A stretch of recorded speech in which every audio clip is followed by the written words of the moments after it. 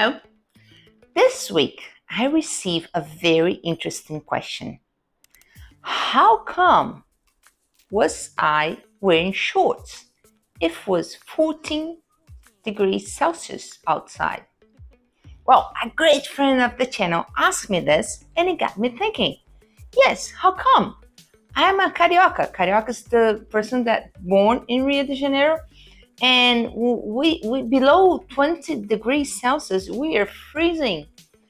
And then I realized it was because I was wearing this here merino wool. Merino wool is a fantastic wool that is thermic because a regular wool is thicker, it itches, at least for me, you know, and only warms you up you know, gets you hot. It's good, but thick.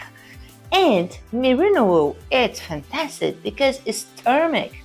So it cools you down and warms you up. Is that cool?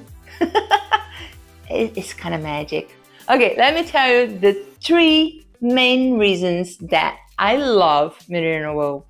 And the third one I just discovered a couple weeks ago first reason of all, and actually the most important one.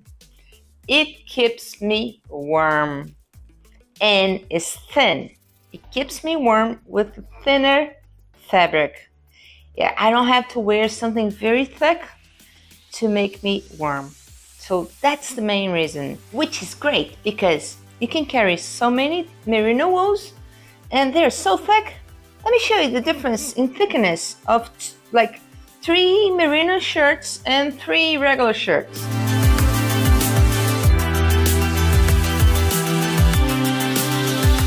Okay, second reason.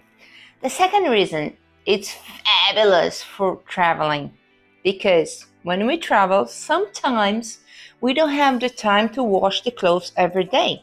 What happens is that merino wool doesn't let the bacteria bacteria to proliferate, to know, to make a lot of bacteria. And the bad smell is the bacteria. So for traveling, it's marvelous because sometimes you don't have the time to wash the clothes every day. So you keep using and you, and, you know, like use two times, three times. I'm doing a test. Actually, I rode with the same merino wool t-shirt underneath my, my bike shirt for four times already and no smell. And believe me, I'm a good smeller. I smell things far, far, far away. So like, it's amazing. That's that reason is perfect to, to travel because sometimes you have to wear it more than once. And especially if you're going for camping you know, camping sometimes it's hard to, to, to watch it. And what we do now, instead of taking like, I don't know, 10, I gotta tell you one thing, a funny one. The first time I went bike touring, I went to Australia, spent five months, and I took 15, yes, 15 sh- cotton shirts because I thought I wear them and uh, uh, twice a month I put in the wash machine and clean them, you know.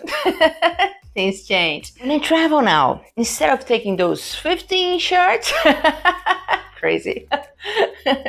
you know, I was 23, you know, that's long time, long, long, long time ago. Well, anyway, instead of taking all these clothes, I'll take one no sleeve merino shirt, three t-shirts, and one long sleeve shirt. Merino, oh, all merino, oh, all merino. Okay, so that's my second reason. Let me tell you what I discovered this week. I was going uphill every two twice a week. I go to Vista Chinesa. Wind is like 15 degrees here. Up there is like 11, 10 Celsius it's cold. so this day, what did I do? I put everything that I had. Okay, let me show you what was I wearing that day? I was wearing this shirt. I was wearing this shirt. I was wearing this coat that's very warm inside and was cold on top. And on the bottom, I was wearing only this here. Yes, a very thin merino wool fabric. It's amazing. Don't ask me how it works. I can't understand it. I just think it's amazing. When I was got up there, it was 10 Celsius. Yeah, imagine. So, after we get up, we have to go down. And when we go down, you know, wind, a lot, a lot of wind. You're going downhill very fast. So, gets even colder. So I start going down and I couldn't understand because the top part of the, the body was freezing and my legs were fabulous. And the only thing that I had was this very thin merino wool pants. And it's kind of, how come? oh, so I had to stop, put my windbreaker on top of the coat, on top of the shirt, on top of the, the undershirt, and then I felt good. So what I realized is that merino wool is wind resistant. Isn't that fabulous for cyclists? We feel cold different than a pedestrian, you know, because okay, it's 10 degrees, but with the wind, oh, it gets very cold. In this case, I was so amazed because imagine wind resistant. So I already was in love with merino wool. So now I'm addicted. well, resuming, for me, merino wool is one of the best fabrics to wear when you ride your bicycle because it's wind resistant, doesn't get you smelly, and warms you up and cools you down. So it's amazing. I, I, I really, really, really do recommend. If you enjoyed this very short video, uh, thumbs up. And if you're not from the channel yet, not a friend yet, sign up. And